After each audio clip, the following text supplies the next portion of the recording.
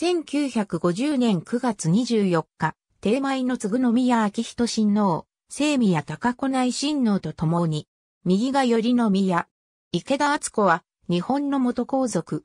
神社本庁総裁、旧名、頼宮敦市内親王、意味名は、敦、ご称号は頼宮、お印は菊桜、旧岡山藩主池田家、第16代当主、池田流星の妻、伊勢神宮祭主、君東は、君一等、昭和天皇と皇順皇后の第四皇女子。特人、秋篠宮文人親王、黒田清子の叔母。秋人、日立宮正人親王、島津隆子の姉。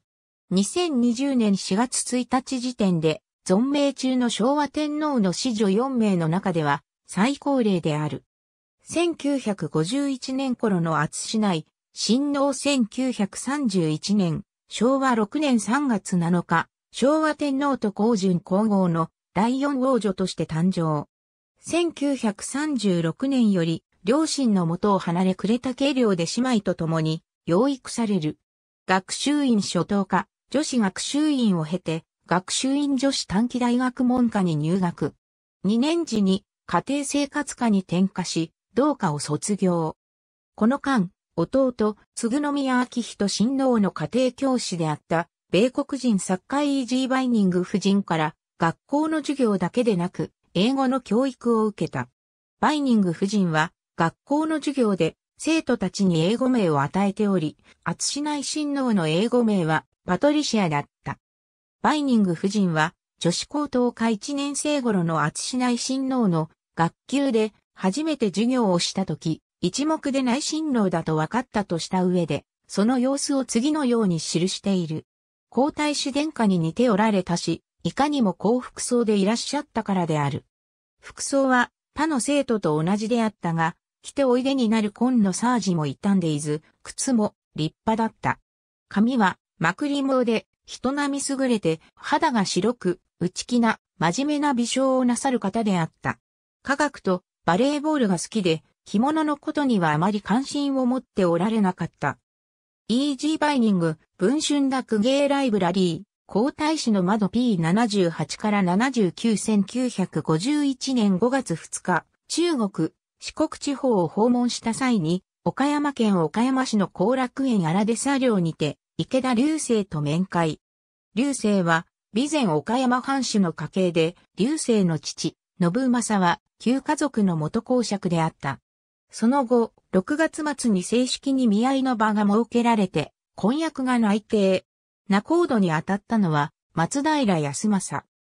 同年5月17日に、祖母、皇太后節子が崩御してから2月来たらずの時期であったが、実父である昭和天皇は、第一期の服務期間の50日間が過ぎた7月10日、田島道春宮内庁長官に命じて、頼宮厚市内親王と池田流星との婚約が内定した旨を公式に発表させた。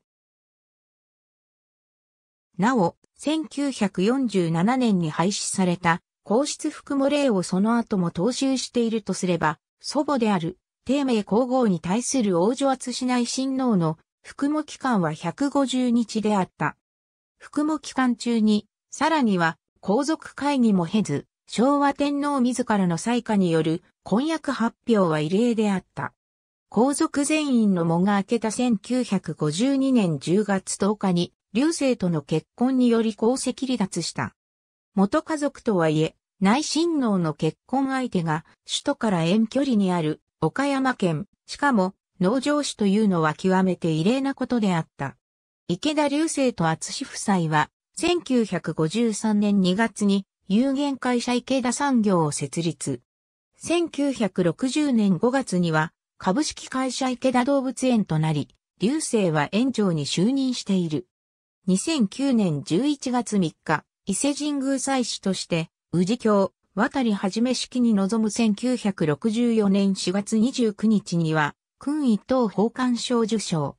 日本赤十字社岡山県支部、友好会名誉会長などを務める。1965年頃、敗血症を患い、岡山大学医学部附属病院に長期入院。すでに長子の東、国重子が癌で死去しており、身を案じた天皇、皇后は頻繁に岡山県へ見舞いのため強行した。回復後は天皇、皇后のほか、実弟である皇太子明人親王、同妃道子ら皇族が岡山県を訪問した際に、厚が案内役を務めることもあった。